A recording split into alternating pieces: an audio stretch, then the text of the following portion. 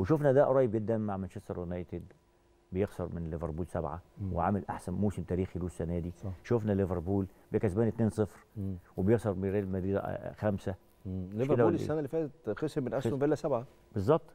فأنا عايز أقول لك إن في الكورة بيحصل الكلام ده. بس لو كلمنا- بس مش مبرر. لا مش مبرر. آه يعني حتى لو في الكوره بيحصل كده لا لا لا الأهلي أنا ما يخسرش. إيه بقول لك الأهلي ما يخسرش خمسة. بص ما أنا عايز بس أنا عايز بس نتكلم في نقطة مهمة قوي يا كابتن آه، كريم. خد بالك آه. أنا بقولش كده الاهلي يخسر آه أو أنا بتقبل الخسارة سهلة مم. أو أنا مش زعلان مم. أو أنا يعني بلاقي مبرر إن اللعبه دي تخسر ماتشات كمان خمسة صح. وستة و... لا مم.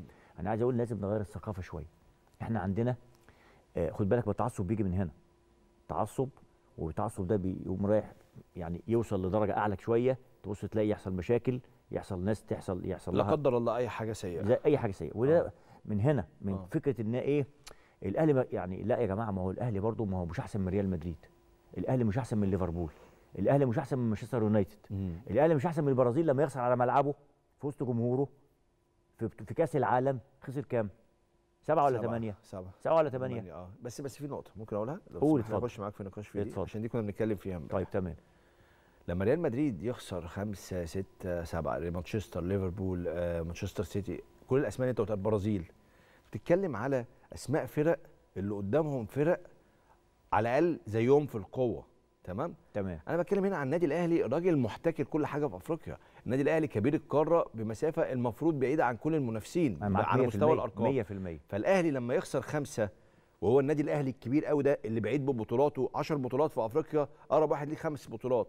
لما يبقى بعيد قوي كده ويخسر بنتيجة كبيرة كده مش مفهومة. لكن لما أتكلم في فرقتين نفس القوة وفرقة النهارده ما كانتش في يومها هتخسر خمسة ممكن تعدي ممكن تعدي. لكن أنا بس إحنا إحنا ليه زعلانين على هرد الاهلي عليك. عشان ده الأهلي. ماشي حلو قوي هرد آه. عليك برضو رد س- يعني سهل جدا جدا اتفضل. ومنطقي جدا. اتفضل. كل اللي حضرتك قلته ده يا كابتن كريم ده في التاريخ. في الت... يعني إيه؟ آه. وحش أفريقيا غول أفريقيا تاريخ النادي الأهلي لا يقارن ابدا ابدا بصن داونز. صح ولا لأ؟ كل ده صح. تاريخ. طبعا. كل ده إيه؟ تاريخ, تاريخ. آه. يعني ما ينفعش أصلا صن داونز يخش مع الأهلي في أصلا في في في, في مقارنة في مقارنة فرقة واخدة بطولة في أفريقيا التاريخ آه فرقة؟ واخده واخدة بطولة معاها ما أنا بقول. لك في التاريخ ما ينفعش ابدا ابدا آه إنما لما بنتكلم في 90 دقيقة آه. لا يحصل آه ويحصل من فرقة أقل كمان من النادي الأهلي آه يعني صن داونز متفقين إن فرقه فرقة كبيرة يعني فرقة كقدرات لعيبة. قدرات لعيبة. فرقة كبيرة مم. ممكن ما بتاخدش بطولات مم. لأن هي خد بالك في فرقة بتعمل أداء كويس جدا آه. ما بتعرفش تاخد بطولة منهم صن داونز كفرقة الناس كلها دلوقتي ماسكة صن داونز احسن لا هو مش أحسن من الأهلي مم. هو مش تاريخه أحسن من النادي الأهلي. ولا عمره هيبقى أحسن من النادي الأهلي. وأقول لك على حاجة ممكن النادي الأهلي ياخد البطولة. بكل الظروف اللي إحنا بنتكلم فيها دي. وبكل المساوئ اللي إحنا شفناها في آه، آه، امبارح في المباراة. النادي الأهلي ممكن ياخد البطولة. طبعا هي مش في إيد الأهلي في حالة طبعا إن المريخ يتعادل ما. يكسبش الهلال. sorry الهلال يتعادل مع آه. صن داونز مم. ممكن الأهلي ياخد البطولة.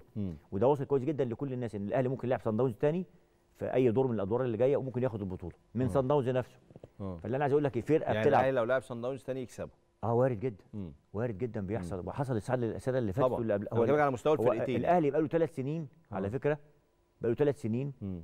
بيجي في قرعته دايما مين؟ صن داونز داونز وبي... آه. وبيخرجوا صح. سواء في دور مجموعات ما بيخسرش منه اتعادل السنة اللي فاتت لو في حضرتك اتعادل صح. واحد واحد هناك وكسب عندنا أو تعادل عندنا برضه آه. فأنا عايز أقول لك إيه إن النادي الأهلي فريق بطولة الناس بس على بس أنا عايز الثقافة تتغير شوية بس في حتة إيه آه، عشان ما يبقاش في عصبية لازم لازم يبقى في آه، يعني حتة ان نتقبل الهزيمة مفهوم أنا ما. بقولش أنا ما بقولش إن أنت لا ما تخ... ما طبعا تموت عشان ما تخسرش وتزعل مم. بس لما تحصل النتيجة مم. عايز يبقى فيه هدوء شوية مم. ما يبقاش فيه ما, ما نكسرش في كل